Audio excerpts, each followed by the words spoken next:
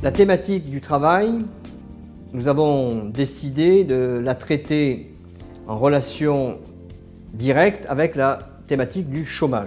bien évidemment, les deux sont liés et euh, au concours, euh, vous serez confronté soit à des sujets concernant le travail en lui-même, c'est-à-dire travail source d'épanouissement, ou travail source d'aliénation.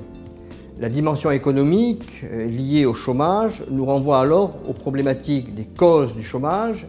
Et là, nous serons alors évidemment dans l'obligation de faire un focus très approfondi concernant la mondialisation. La mondialisation étant considérée comme une des causes des euh, augmentations et, des pourcentages liés donc au chômage.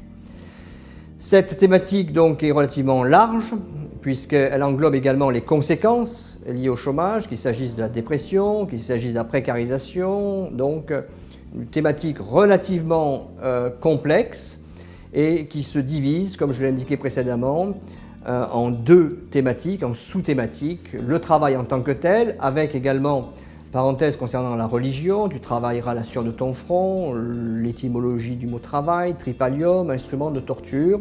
Donc voilà le programme qui nous attend à l'intérieur de cette thématique. Préparez chez vous et à votre rythme l'épreuve de culture générale de votre concours.